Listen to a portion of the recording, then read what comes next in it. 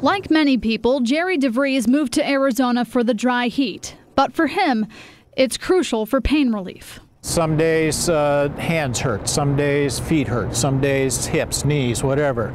Uh, some days it's just a blood vessel that hurts. DeVries was diagnosed with Proteus syndrome when he was 40 years old, years and years after never having any answers as to why the left and right sides of him grew asymmetrically, or why he always had to buy custom made shoes. My little toe is as big as my big toe.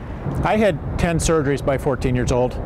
Uh, the 10th of that being the amputation of my left foot. Before DeVries, researchers didn't know a lot about Proteus syndrome, as most of the patients die in their 20s.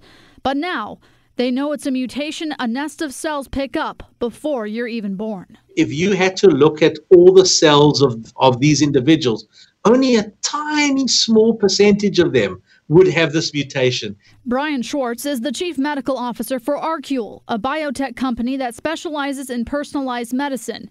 His team was working on a drug to treat cancer when the National Institute of Health came to them with the discovery that the cell mutation ArQule was working on was linked to Proteus disease. In cancer patients, we needed a lot more to kill the cells, whereas in these patients, we needed a lot less to control the growth of these cells.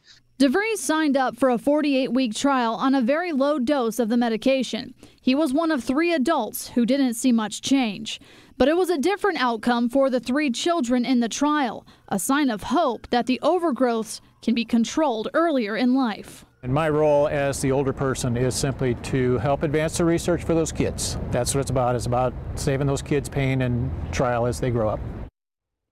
And DeVries is on standby to get called up for a second trial at a higher dose of this drug. If the FDA approves it, it will be the first ever treatment option available to patients.